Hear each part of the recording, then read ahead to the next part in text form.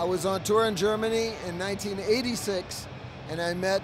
I went to a a uh, store, a music store, and on the floor on a stand like this was a all wood thumb, and I had never seen the teardrop shape before, and the and the all wood. You know, it was beautiful, natural, and I, I really did uh, have a kind of. Uh, exciting moment. I like, I, which I don't usually have with guitars. They all, at that time, they all sort of looked similar. You could distinguish brands and stuff, but this was a unique looking guitar.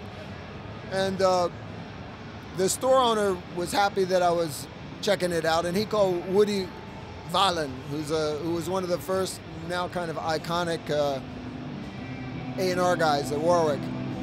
And he came to a show and brought me one and that bass, this is true, is still my favorite bass. That first bass, I still play it. I played it most of uh, most of the time since then.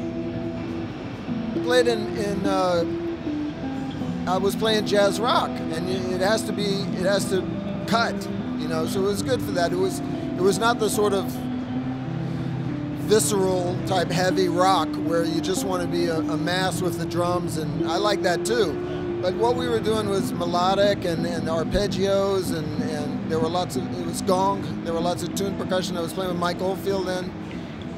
So each thing had its part to play in a kind of uh, counterpuntal way, you know, was, there was lots of parts integrating, and those basses were the cleanest and clearest kind of bass I had ever played at the time.